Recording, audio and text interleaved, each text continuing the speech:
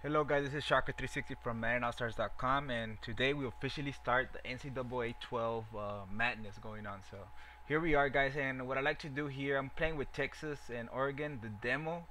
What I like to do here guys, establish my run first and right here we are in uh, actually uh, power O and here I'm trying to run. Uh, also don't forget to slide protect down when you're running the ball for more blocking every time you want to run uh, like a power O or halfback dive. So again here we are this time with a halfback toss to the outside. Uh, this formation is actually uh, really really good for running. As you see, can see here really nice blocking.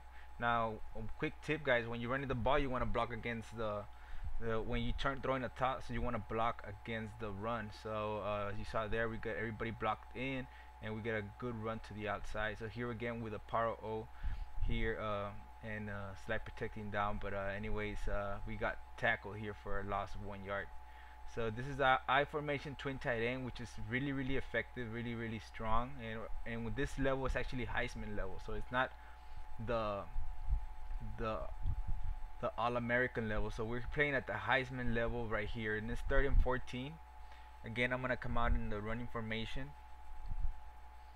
And uh, this time I'm gonna throw a pass. So I'm gonna put my fullback here in a streak and uh, go ahead and throw it to my tight end. Usually tight ends are wide open. Uh, they get a lot of separation in this game. Uh, NCAA 12, even in previous years, the tight end will get a lot of separation in the middle of the field, especially when they're off the line. So, uh, and, and, here we are coming again, establishing the run.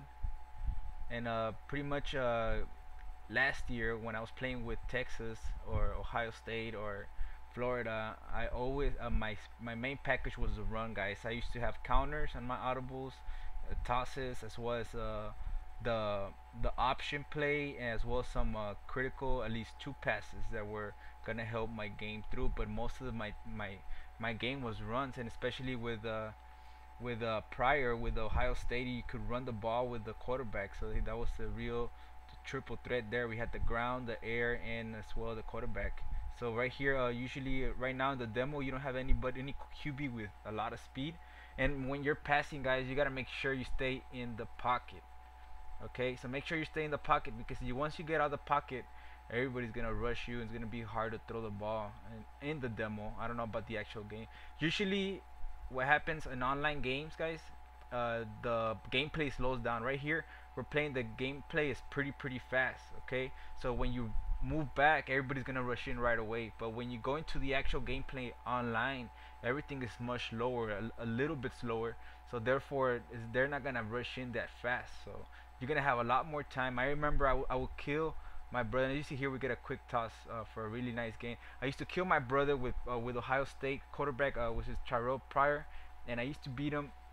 And I used to rush like crazy, 70 yards here on the demo and everything. But once I got to the actual game, everything was pretty much slowed down and I, all I could get was around 15 to 20 yards so or, or sometimes I would break it but anyways uh, I mean he was a, actually a good triple threat to have so and as you see here we're, we're establishing the run here in the demo I'm pretty sure during the game which is gonna be slowed down uh, it's gonna be actually better to run the ball now you can even run here in Heisman level on the demo no online connection it's pretty pretty fast. So uh, players react pretty pretty fast. It's actually really really hard to beat the computer on Heisman level. And as you see here we score easily just running the ball uh, with quick tosses. This formation I formation twin tight end is really really effective uh, for running for the running game. And uh, actually this is the only team in the demo that has this formation. So um, and um, as you can see really effective. We're gonna go ahead and uh, punch it in here for for a touchdown and fourth and goal. I'm gonna go for it and here again we audible to the I formation twin tight end uh, power O and here you get touchdowns for uh, seven points guys. So I'm gonna post up the second part of this video because it takes almost an hour or four hours to render. So I'm rather do it in pieces and, and give you guys in parts so you guys can feel free to check out the videos. And I'm gonna put a link so you can go to the next video and just click on it and it'll take you right away to the continuation of this game. Until later this was Shaka360 from MaddenAllStars.com